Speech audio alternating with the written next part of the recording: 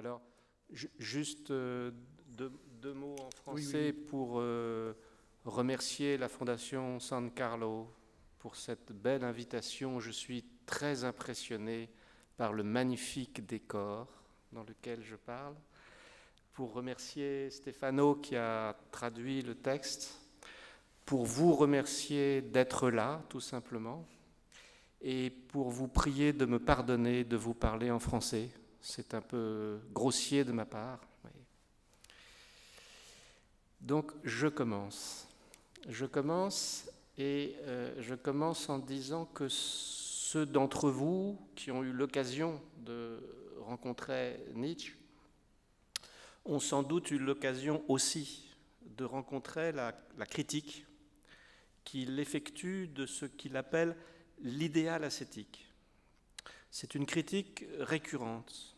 Elle apparaît en 1878 au paragraphe 136-144 de Humain trop humain, et puis elle revient souvent, conformément à la démarche rhapsodique de Nietzsche, et elle finit par trouver son orchestration magistrale dix ans plus tard, en 1887, dans la troisième dissertation de la généalogie de la morale, un ouvrage célèbre dont vous avez forcément entendu parler.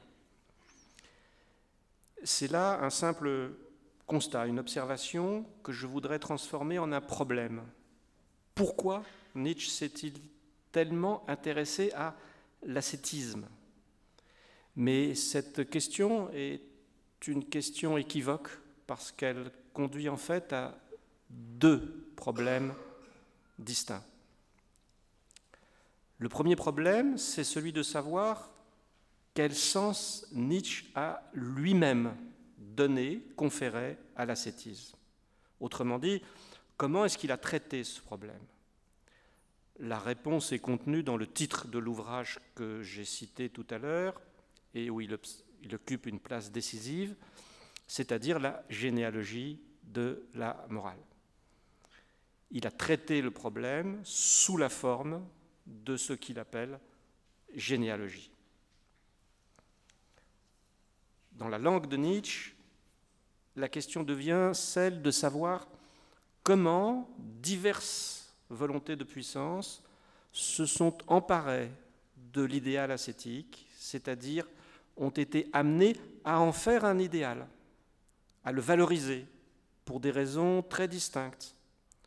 L'artiste wagnérien, le philosophe grec, le prêtre chrétien et le savant moderne sont tous favorables à l'ascétisme. Mais le même mot, voire les mêmes pratiques, par exemple la frugalité ou la chasteté, n'ont pas pour eux la même signification. C'est pourquoi la question précise que pose Nietzsche et qui intitule la troisième dissertation de la généalogie de la morale est la suivante, en allemand Was bedeuten asketische Ideale, c'est-à-dire que signifient les idéaux ascétiques Le problème est celui du sens, que signifie, et ce problème se décline au pluriel, les idéaux ascétiques. On ne peut pas être pour ou contre l'ascétisme tout court, puisque l'ascétisme, en toute rigueur, n'a pas de sens au singulier. Il en a plusieurs.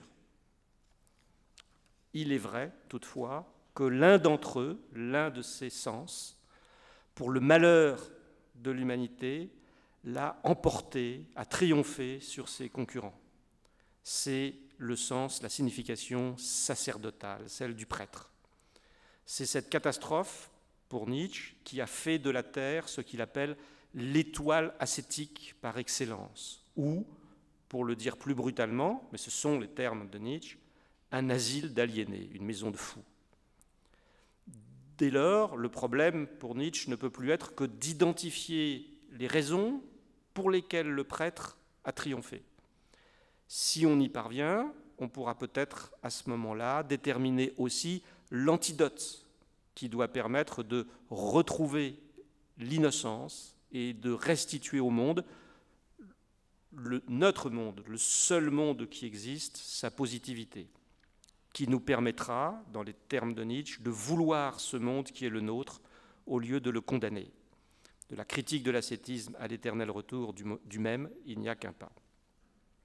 Je viens de vous résumer très vite la généalogie de l'ascétisme qu'a tenté Nietzsche.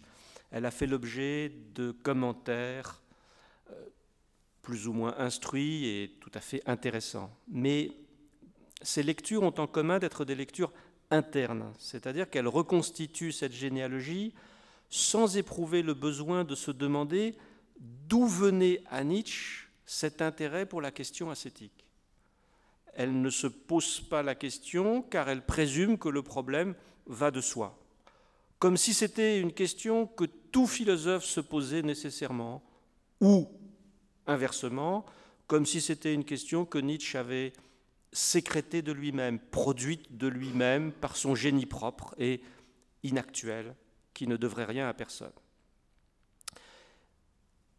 Pourtant, il n'est pas nécessaire de réfléchir beaucoup pour comprendre qu'aucune de ces deux présuppositions n'est acceptable. Sans doute, tout philosophe rencontre-t-il la question de la religion. Et depuis la naissance du christianisme, tout philosophe rencontre la question de la mortification, de la pénitence, de l'humilité. Mais il est faux que tout philosophe se soit posé la question de l'ascétisme, ou, si vous préférez, en italien, pardonnez-moi ma prononciation, de l'ascetismo, en anglais de l'ascéticisme, ou en allemand de l'ascétismus. Et cela est si faux qu'un petit sondage philologique nous apprend, contre toute attente, que l'ascétisme, le terme ascétisme, est un concept relativement tardif. L'anglais ascéticisme apparaît en 1646, mais l'anglais encore ascétisme apparaît seulement en 1850. L'italien ascetismo n'est enregistré, à ma connaissance, qu'en 1761. Ascetismus ne semble pas arriver en allemand avant 1803. Et en français, le dictionnaire historique de la langue française ne mentionne aucune occurrence du substantif ascétisme avant 1818. C'est très tardif. De sorte qu'en exagérant un petit peu, mais pas beaucoup, on pourrait dire que l'ascétisme est plutôt le nom d'un problème qui survient avec ce que les Allemands appellent la, la si vous préférez, la période allant de 1770 à 1820. Mais d'un autre côté, cela veut dire que le problème survient avant Nietzsche.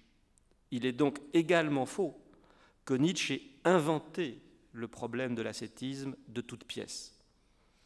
Il le tient d'une conjoncture qui en fait l'actualité, actualité dont il n'est pas tout à fait conscient, me semble-t-il. Je pense que je peux maintenant récapituler simplement les choses. La question pourquoi Nietzsche s'est-il tant intéressé à l'ascétisme se dédouble en deux questions distinctes. Premièrement, quel sens Nietzsche a-t-il lui-même conféré à cette question? C'est un problème qui relève des études nietzschéennes, qui a souvent déjà été traité, ce qui ne veut pas dire que ce soit un problème épuisé, et je vais y revenir dans ce que je vais vous dire ensuite, c'est le problème de la généalogie. Deuxièmement, seconde question, d'où vient à Nietzsche la question de l'ascétisme? Parce qu'elle lui vient bien de quelque part, il ne l'a pas créée ex nihilo. Et ce problème-là est celui de l'histoire du concept d'ascétisme. Or, par un curieux paradoxe, Nietzsche, le généalogiste philologue, car Nietzsche était philologue de profession, ce problème, Nietzsche l'ignore. On pourrait même dire que l'histoire du concept d'ascétisme constitue comme l'angle mort de la généalogie de l'idéal ascétique. Mesurer cet angle mort, c'est ce que je voudrais faire avec vous. Pas simplement pour faire le malin, pour prétendre voir ce que Nietzsche ne voit pas, ou comme aurait dit Deleuze, pour lui faire un enfant dans le dos. Mais surtout parce que cet enfant est plein de promesses. Je veux dire que l'histoire du concept d'ascétisme est une histoire qui est grosse d'enjeux passionnants dont Nietzsche n'est que partiellement conscient. C'est ce que je voudrais maintenant vous expliquer sous une forme plus suggestive que tout à fait démonstrative. Non seulement parce que nous sommes limités par le temps, mais aussi parce qu'en fait, cette enquête recouvre un champ considérable que je suis loin d'avoir exhaustivement parcouru. Première étape, l'introduction négative du concept d'ascétisme en philosophie avec un philosophe anglais dont vous connaissez peut-être le nom Bentham, Jeremy Bentham, considéré comme le, fondateur de l'utilitarisme. Tout à l'heure, j'ai mentionné la présence en 1818 chez un romancier français, Charles Nodier, contemporain de Balzac, la présence du substantif ascétisme. Mais l'historien de la philosophie peut remonter plus haut, parce que Jeremy Bentham, le fondateur de l'utilitarisme, rédige directement en français, il est anglais, mais il rédige directement en français, entre 1782 et 1787, on ne sait pas exactement, un texte très polémique sur ce qu'il appelle les délits religieux. Sans doute parce qu'il est anglais et que le terme anglais ascéticisme lui est familier, il le transcrit spontanément en français, ascétisme. Et ascétisme, pour lui, désigne cette sorte de délit qui consiste à diminuer la masse globale de bonheur dans la vie présente en se refusant des plaisirs. Il appelle ça un ascétisme dénégatoire. Je ne sais pas comment Stéphano a pu traduire parce que c'est terrible. Un ascétisme dénégatoire ou en s'imposant des peines. Et alors il parle d'ascétisme afflictif. C'est un français horrible, épouvantable. Mais un petit peu avant, en 1780, Bentham avait publié en anglais la première édition de son introduction aux principes de morale et de législation. Le chapitre 1 présentait le principe d'utilité, ou principe du plus grand bonheur du plus grand nombre. Ce principe, pour Bentham, se déduit d'une prémisse anthropologique héritée de Helvétius, qui ne nécessite à ses yeux aucune espèce de justification parce qu'elle semble aller de soi, à savoir que tout homme est gouverné par la recherche du plaisir et la crainte de la douleur. Le chapitre 2 du livre de Bentham stipule ensuite ce qu'il appelle le principe d'ascétisme. Alors là, c'est en anglais, il dit ascéticisme. Et le principe d'ascétisme, c'est l'inversion pure et simple du principe d'utilité. Le principe d'ascétisme, c'est un principe qui condamne le plaisir en tant que plaisir. Ainsi formulé, du point de vue de Bentham, c'est un principe évidemment intenable, indéfendable, que personne ne peut suivre avec conséquence et que personne n'a d'ailleurs jamais prétendu étendre à la sphère collective. Ce que veut dire Bentham, c'est que le caractère aberrant du principe d'ascétisme, c'est-à-dire de la condamnation du plaisir comme plaisir, ce caractère aberrant confirme a contrario la justesse du principe d'utilité, principe selon lequel tout homme recherche le plaisir et fuit la douleur. Nous assistons là, à ma connaissance, à l'introduction en philosophie du concept d'ascétisme. Et cette introduction appelle trois remarques rapides. Première remarque, c'est une introduction qui est à la fois négative et marginale, c'est-à-dire que le concept d'ascétisme apparaît en second lieu pour désigner exactement le contraire de ce qui est à soutenir, à promouvoir, c'est-à-dire l'utilité. L'ascétisme présente une morale contre nature. Deuxièmement, la nature que contredit l'ascétisme est définie pour Bentham par ce qu'on peut appeler, dans des termes un peu anachroniques, le principe de plaisir. Du point de vue de Bentham, ceci est très important, l'homme ne peut pas vouloir la douleur, sauf par ignorance, en cherchant le plaisir, ou alors par calcul, parce qu'une petite souffrance peut épargner de plus grandes souffrances. Mais l'homme ne peut pas vouloir la douleur pour la douleur. En réalité, l'homme ne peut que vouloir le plaisir. L'utilitarisme est un hédonisme. Troisième remarque, évidemment, la cible de Bentham, qui est un homme des Lumières, c'est le christianisme. C'est le christianisme, et c'est ce dont témoigne l'apparition du terme français ascétisme dans le contexte d'une critique de la pénalité ecclésiastique. L'ascétisme désigne pour Bentham négativement ce que les philosophes des Lumières n'ont jamais cessé de combattre, c'est-à-dire la valorisation religieuse du sacrifice dont le Christ est l'emblème, le sacrifice de la nature en soi, la pénitence, la mortification, l'humilité, entreprendre d'écraser l'infâme, pour parler comme Voltaire, c'était bien sûr rejeter l'ascétisme en revendiquant le caractère saint, c'est-à-dire non corrompu, de la nature humaine. Ici, je voudrais risquer une hypothèse dont la démonstration reste à faire.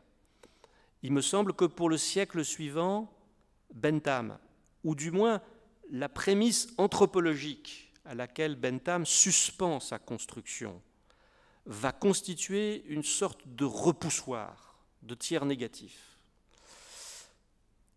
J'évoque ici quelques autorités par ailleurs tout à fait contradictoires. John Stuart Mill, qui est un héritier de Bentham et qui revendique ouvertement l'héritage utilitariste, révisera à la baisse son fondement hédoniste, c'est-à-dire le principe selon lequel l'homme recherche le plaisir et fuit la douleur.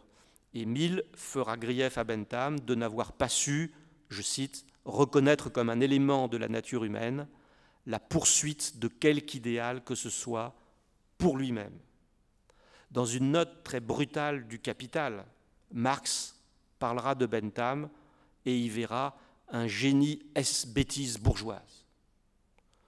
Et un libéral comme Constant, très différent de Marx, ne manquera pas d'assimiler le principe d'utilité à une apologie de l'égoïsme, à laquelle il opposera d'une part les droits inaliénables de l'individu et d'autre part le sentiment religieux. Autrement dit, tout le monde est contre Bentham au XIXe siècle. Et dans ce contexte, sur un front ouvertement réactionnaire, il était prévisible que l'on assiste à une réévaluation de l'ascétisme et même à sa promotion philosophique. Au fond, l'ascétisme prouve, avec toute l'évidence du fait ancestral, de la tradition, que l'homme est un être qui non seulement est capable de renoncer au plaisir, mais qui peut même vouloir la souffrance et qui peut même s'infliger la souffrance avec acharnement et avec méthode. C'est une chose étonnante. C'est le, démenti, la contradiction la plus éclatante qu'on peut opposer à l'hédonisme vulgaire, entre guillemets, c'est un terme du siècle, d'Helvétius et de Bentham. La preuve que l'homme ne recherche pas le plaisir ou ne recherche pas toujours le plaisir, c'est qu'il peut vouloir la souffrance.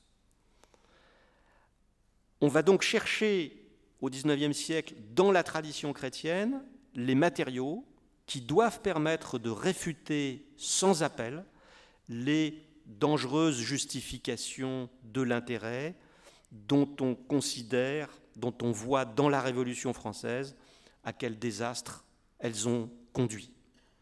Mais bien sûr, ces matériaux chrétiens traditionnels, il va falloir les reconfigurer, les redéfinir. Je crois que l'ascétisme, le mot ascétisme, est le nom de cette reconfiguration réactionnaire. J'ai parlé à l'instant de promotion philosophique de l'ascétisme. Et le philosophe à qui revient l'honneur, si c'est un honneur, de cette promotion, c'est Schopenhauer. Donc après vous avoir parlé de Bentham, je voudrais vous parler de Schopenhauer. Il y a un texte tout à fait remarquable qui peut nous servir de point de départ. C'est un texte qui figure au supplément 48 du grand livre de Schopenhauer, Le monde comme volonté et représentation, dont je vous rappelle que la première édition date de 1819. Schopenhauer, dans ce texte, évoque la remarquable convergence entre, d'une part, le brahmanisme, le bouddhisme, des religions des mystiques orientales, et de l'autre côté, la tradition mystique européenne.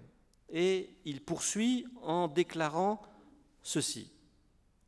Mais, dit-il, aucune philosophie, en présence d'une telle question, n'a le droit de passer sous silence le sujet du quiétisme et de l'ascétisme. Car le thème en est, en substance, identique à celui de toute métaphysique et de toute morale. Aussi, est-ce là un point où j'attends toutes les philosophies avec leur optimisme et sur lequel je les somme de se prononcer. C'est une déclaration solennelle. Et cette déclaration me paraît appeler à son tour trois remarques importantes parce que cela implique pour l'ascétisme un triple changement, un changement de statut, un changement de signe et un changement de fonction. Je m'explique. Premièrement, un changement de statut. L'ascétisme ici est présenté non seulement comme un centre de gravité, mais comme le centre de gravité de la métaphysique elle-même. Le thème en est en substance identique à celui de toute métaphysique et de toute morale.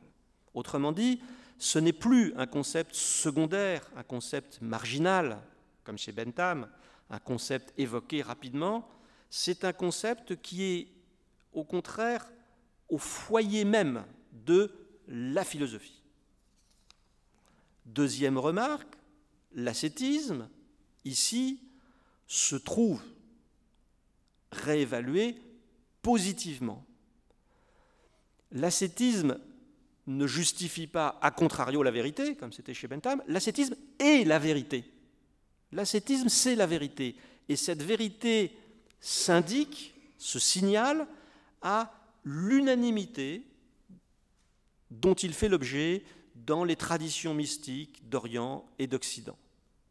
Du point de vue de Schopenhauer, une, une simple aberration ne pourrait certainement pas justifier, donner lieu à une convergence semblable. Il faut bien que se révèle dans l'ascétisme quelque chose d'essentiel pour que christianisme mystique, brahmanisme et bouddhisme soient d'accord sur ce point. Troisième remarque, changement de fonction. Parce que Schopenhauer est tout à fait conscient qu'il marque son propre territoire et qu'il met en avant une question originale. La force de sa position, à ses yeux, s'atteste par le fait qu'il est le premier à proposer une interprétation métaphysique de ce que la plupart des grandes religions pratiquent depuis des millénaires sans être en mesure d'en rendre raison convenablement. Les religions, pour Schopenhauer, les grandes religions, ont inventé des mythes. Par exemple, le mythe du péché originel. Elles ont inventé des mythes parce qu'elles ne disposaient pas de l'appareil conceptuel, de la théorie adéquate. De sorte que la philosophie de Schopenhauer, la philosophie du monde comme volonté et représentation, n'est pas seulement une philosophie de l'ascétisme, elle est, pour Schopenhauer, la première philosophie de l'ascétisme. Elle est la première philosophie à prendre en charge la question de l'ascétisme. Et du coup, de ce fait, l'ascétisme fonctionne comme une pierre de touche. Il donne lieu à un véritable défi. Ce défi est qui donc pourra comprendre la tradition ascétique mieux que moi, Schopenhauer, mieux que le philosophe du vouloir vivre. Qui donc sera capable d'expliquer mieux que moi la respectable ancienneté et l'extraordinaire extension mondiale de l'ascétisme? Bien sûr, nous devons nous demander maintenant en quoi consiste finalement cette explication. Pourquoi ce triomphe de l'ascétisme du point de vue de Schopenhauer? Eh bien, le nom philosophique de l'ascétisme, pour Schopenhauer, c'est ce qu'il appelle la négation du vouloir vivre. L'idée est la suivante. L'ascète combat en lui la volonté qu'a la vie de se propager. Et il la combat parce qu'il a compris. Serait-ce pardon, sur le mode mythique de la religion, il a compris que ce désir le voue au malheur, lui et l'espèce qu'elle l'incite à perpétuer. Schopenhauer, c'est très simple en fait. L'idée, c'est que vivre, c'est souffrir. Et que vivre, c'est souffrir parce que c'est vouloir. Donc, forcément s'exposer soit à la frustration, qui est liée à l'échec, soit à l'ennui, qui découle de la satisfaction. C'est pourquoi Schopenhauer peut dire que, je cite, la souffrance est le fond de toute vie, ou encore que la vie est un état de malheur radical, ou enfin qu'on ne peut assigner d'autre but à notre existence que celui de nous apprendre qu'il vaudrait mieux pour nous ne pas exister. L'ascétisme, pour Schopenhauer, c'est la conclusion pratique et lucide du pessimisme par lequel, au XIXe siècle, on va désigner la philosophie de Schopenhauer. Je vais essayer de vous redire ça sous une forme plus, concise. À l'utilitariste qui prétend platement, banalement, que l'homme recherche le plaisir et fuit la douleur, Schopenhauer dit qu'il faut répondre ceci, c'est que l'homme ne pourra trouver que la douleur en cherchant le plaisir. Si vous cherchez le plaisir, vous trouvez la douleur. L'homme ne pourra trouver que la douleur en cherchant le plaisir, et donc il doit renoncer au plaisir pour éviter la douleur.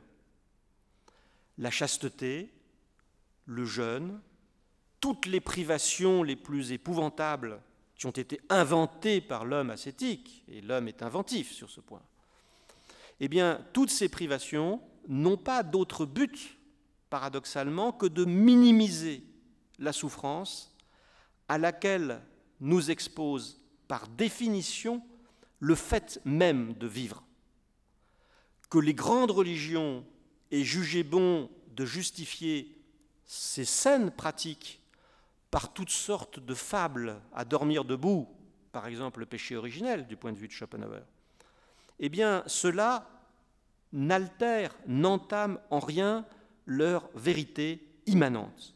La vraie philosophie, la philosophie de Schopenhauer, c'est celle qui recueille cette vérité en la dépouillant de sa gangue mythique c'est-à-dire aussi pour Schopenhauer en la dissociant du salut, parce qu'il n'y a pas d'immortalité de l'âme et il n'y a pas de salut.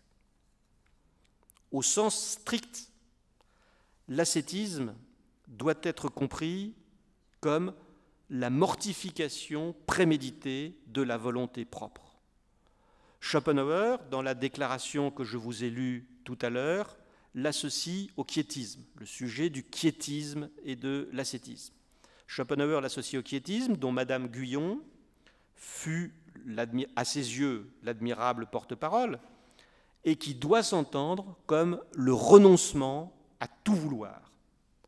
Dans le langage mystique traditionnel, on disait que la voie purgative conduit à la voie illuminative. Dans la terminologie de Schopenhauer, il faut dire que l'exténuation en soi de la volonté délivre de la souffrance irrémédiablement liée à celle-ci. Moins on veut, moins on vit, moins on souffre, et moins enfin on contribue à propager la souffrance en se reproduisant sexuellement. En ce qui concerne l'illumination finale, Schopenhauer l'abandonne à la mystique proprement dite. Il considère que la philosophie n'a rien à dire sur ce Ce qui se perd de cette manière, c'est contre la philosophie des Lumières, contre l'hédonisme hérité des Lumières, une réappropriation non chrétienne, plutôt bouddhiste, du christianisme. L'ascétisme devient le nom de cette appropriation polémique. Ce n'est pas en fait un terme chrétien, parce que la tradition catholique parlait d'exercice pour traduire le grec askésis. L'ascétisme, c'est un terme qui désigne la vérité philosophique, la vérité spéculative anti-hédoniste du christianisme. Parler d'ascétisme, au fond, c'est rendre la pénitence chrétienne à sa vérité philosophique. Il faut revenir, du point de vue de Schopenhauer, il faut revenir aux grandes religions ascétiques par-dessus les Lumières, mais y revenir, ça ne veut pas dire régresser, ça veut dire au contraire innover, parce qu'on peut ainsi en extraire le noyau qui est celui de la véritable métaphysique elle-même. Alors, si vous avez cela présent à l'esprit, vous allez mieux comprendre ce que raconte Nietzsche.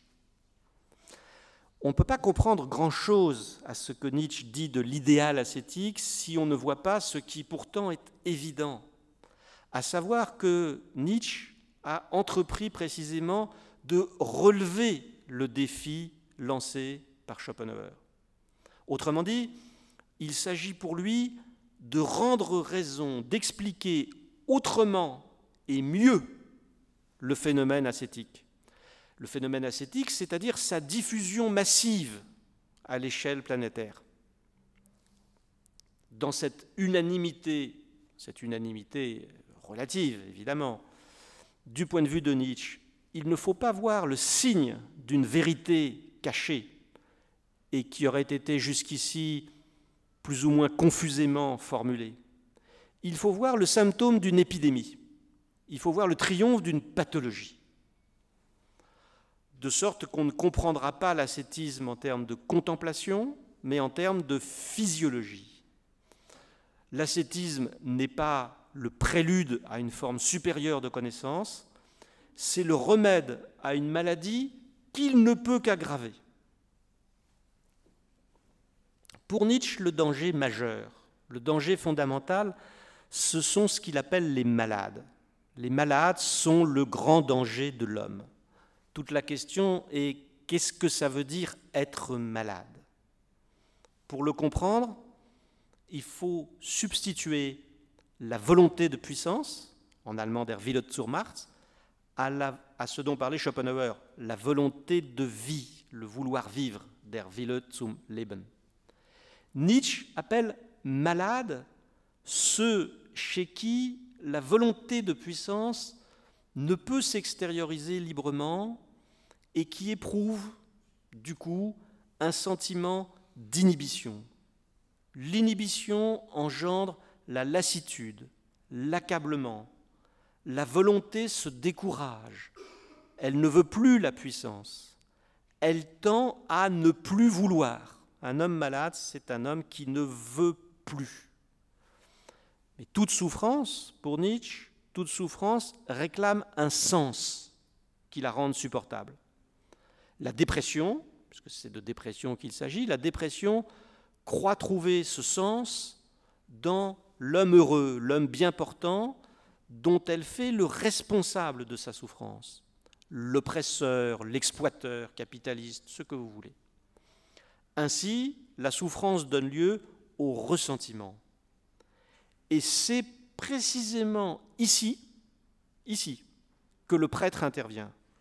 Le prêtre corrige cette réponse. Il est celui, dit Nietzsche, qui modifie la direction du ressentiment en déclarant que, ça c'est l'invention du prêtre, en déclarant que le coupable, c'est le malade lui-même, car le malade est un pécheur. La souffrance punit le péché, et pour y remédier, il faut se punir. C'est une sorte de cercle terrifiant par lequel la souffrance ascétique se trouve intronisée comme remède à la souffrance dépressive. Ça s'explique par le fait qu'en retournant la violence contre lui-même, Parce que l'ascétisme, c'est la violence retournée contre soi-même. En retournant la violence sur lui-même, le malade réactive la volonté de puissance. Il exerce à nouveau la puissance. Il veut à nouveau la puissance, mais il la veut contre lui. Dans la terminologie très étrange, dans la terminologie paradoxale de Nietzsche, il faut donc dire que ce qui anesthésie, ce qui calme la souffrance, est en même temps de l'ordre de l'excitation. Dans la terminologie de Nietzsche, le stimulant est un narcotique. Qu'est-ce que c'est que l'ascétisme, par conséquent, pour Nietzsche? Eh bien, c'est le goût voluptueux de la cruauté que retrouve le malade en exerçant la cruauté sur lui-même. Il y a bien des façons de s'y prendre. Et Nietzsche les présente, les classe, dans un ordre d'intensité croissante. Tout en bas de l'échelle se rencontre le procédé dont Schopenhauer, au contraire, avait fait le sommet de la vie spirituelle, c'est-à-dire le renoncement au vouloir. La mystique apparaît pour Nietzsche comme le, plus bas degré de l'ascétisme. En haut de l'échelle, on trouve les procédés les plus effrayants, le silice, la flagellation, etc. Où l'homme moderne et raisonnable, par exemple Bergson dans les deux sources de la morale et de la religion, où l'homme moderne et raisonnable ne pourra plus voir que d'extravagants et d'effrayants excès, des sortes de folies heureusement disparues avec les ténèbres médiévales. Entre les deux, Nietzsche distinguera la diversion laborieuse, parce que la discipline du travail est une forme d'ascèse qui convient à l'esclave antique ou moderne, et puis aussi l'abnégation en faveur de la prospérité commune qui fait oublier le dégoût de soi. Ce qui est important, c'est que le mal est dans le remède. De la dépression à l'autodestruction, en effet, la volonté de puissance peut retrouver une forme de vigueur, mais c'est pour mieux s'anéantir. Au lieu de ne rien vouloir, elle veut le rien. C'est le comble du nihilisme dont Dostoïevski, du point de vue de Nietzsche, dont Dostoïevski fournit les illustrations les plus éclatantes, mais il faut le reconnaître, pas forcément les plus réconfortantes. Dans tout cela, nous ne devons pas perdre de vue la question centrale, la question du siècle que j'ai évoquée plus haut, la question du principe de plaisir. Je cite Nietzsche. Nous nous trouvons ici en face d'une discordance qui se veut elle-même discordante, qui jouit d'elle-même dans la souffrance, qui jouit d'elle-même dans la souffrance. La souffrance ne s'oppose pas à la jouissance parce que la souffrance est dans la jouissance et la jouissance dans la souffrance. Bentham voyait dans l'ascétisme une aberration parce qu'on ne peut pas vouloir la souffrance, on ne peut vouloir que le plaisir. C'était l'interprétation hédoniste de l'ascétisme. Schopenhauer comprenait l'ascétisme comme le seul moyen d'échapper par la souffrance liée à la privation à la souffrance induite par la recherche du plaisir. Une interprétation qu'on pourrait appeler héroïque de l'ascétisme. Nietzsche, lui, diagnostique dans l'ascétisme un moyen inattendu de trouver le plaisir dans la souffrance. C'est une interprétation paradoxale de l'ascétisme. Vous pourriez être tenté aujourd'hui de qualifier de masochiste cette recherche du plaisir dans la souffrance. Mais vous auriez tort parce que le héros masochiste, le héros de la Vénus à la, fourrure, pardon, 1870, le héros de la Vénus à la fourrure a pour modèle non pas l'ascète, mais le martyr. On n'est pas masochiste tout seul. On est ascète tout seul. On pas. Pour être masochiste, il faut être au moins deux. Le héros de la Vénus à la fourrure a pour modèle le martyr et le héros masochiste vise, a pour objectif la jouissance érotique, dont l'ascète ne veut absolument pas entendre parler. Ce qui serait intéressant de se demander, c'est pourquoi nous, aujourd'hui, nous sommes tentés de traduire l'ascétisme en termes de masochisme. Nouvelle hypothèse, ce n'est qu'une hypothèse. Peut-être qu'au début du XXe siècle, le concept clinique, le concept freudien de masochisme s'est substitué au concept philosophique d'ascétisme, de telle façon qu'aujourd'hui, le concept de masochisme tend à recouvrir le concept d'ascétisme et le rend incompréhensible, le rend inintelligible. Dernière étape, dernière étape, toujours Nietzsche, pour vous montrer que Nietzsche est un critique de l'ascétisme et qu'il est aussi un défenseur de l'ascétisme. Nietzsche oppose à l'ascétisme chrétien un autre ascétisme. Ici, j'évoque un autre point de repère. 1841, un ouvrage qui a eu une importance considérable, Feuerbach, L'essence du christianisme. Feuerbach, dans l'essence du christianisme, entreprenait de renverser le christianisme. Le renversement du christianisme, pour Feuerbach, consistait à retrouver l'hédonisme matérialiste d'Helvétius et des Lumières par-dessus l'idéalisme allemand. Le culte du sacrifice, poussé à son comble dans le supplice de la croix, la dépréciation du plaisir, trouvant sa forme culminante dans la virginité mariale, tout cela, pour Feuerbach, une fois renversé, se, se transformait en une apologie de la sensualité qui faisait toute sa place à la relation sexuelle, que Feuerbach appelait, très intéressant, que Feuerbach appelait la relation morale fondamentale, la relation sexuelle comme relation morale fondamentale.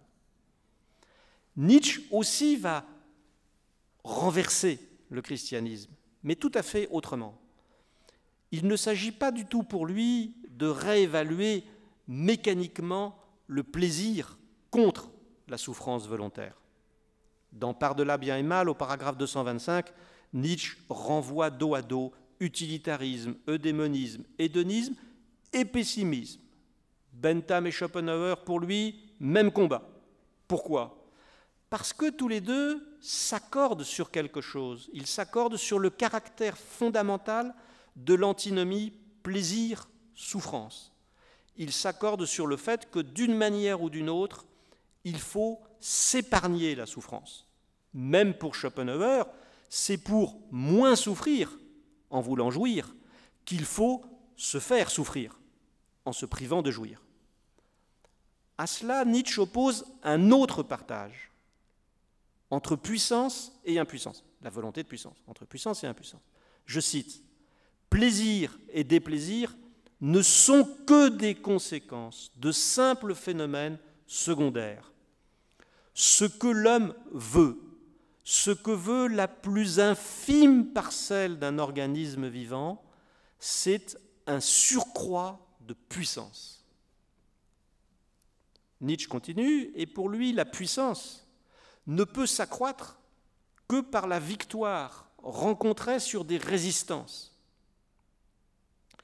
Et les résistances impliquent une souffrance qui est tout à fait positive, puisqu'elle stimule le désir d'intensifier la puissance.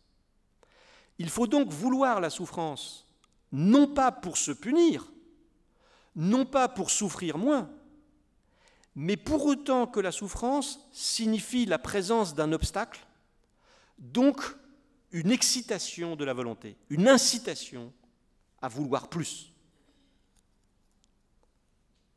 Faisons un pas supplémentaire et admettons que l'obstacle soit en soi-même.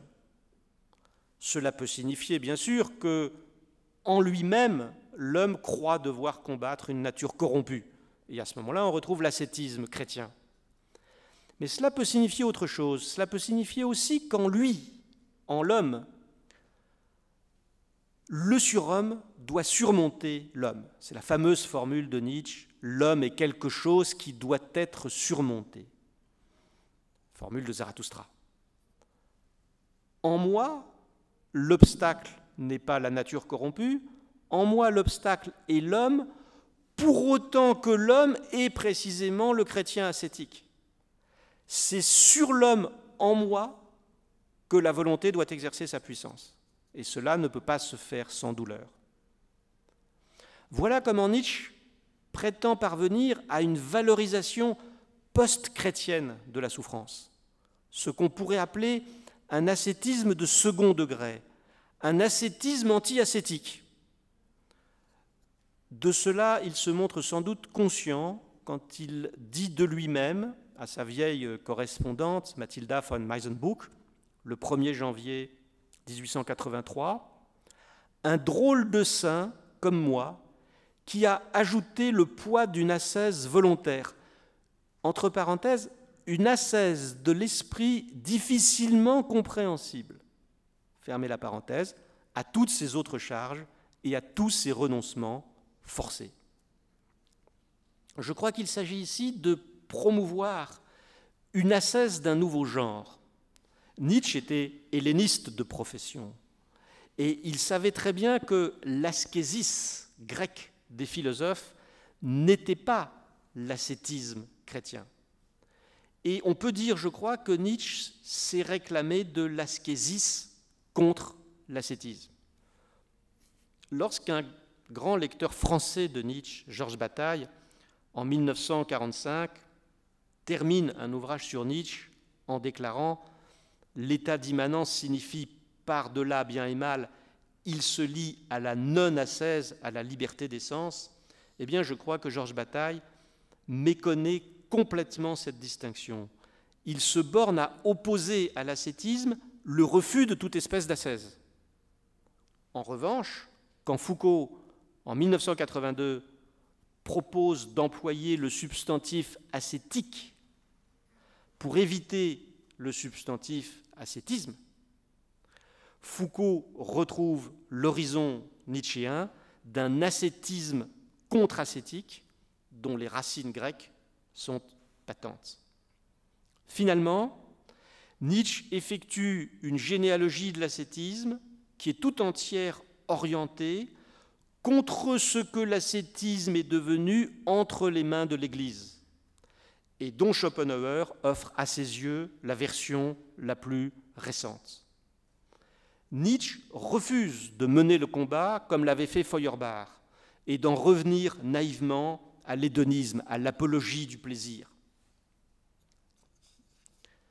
Il en arrive donc à défendre une nouvelle sorte d'ascèse dont le but est d'effacer en soi, douloureusement, difficilement, toute trace de l'ascétisme chrétien. C'est une entreprise cohérente.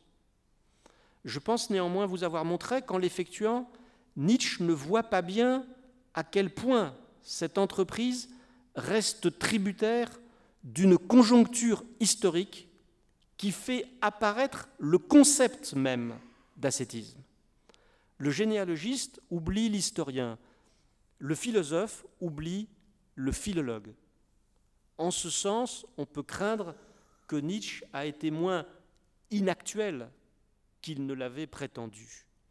Soyons toutefois justes, acharné à penser contre lui-même, de cela aussi, après tout, il eut peut-être le pressentiment. Je cite, Ce qui me semblait réservé, toute l'époque le poursuit. Voilà.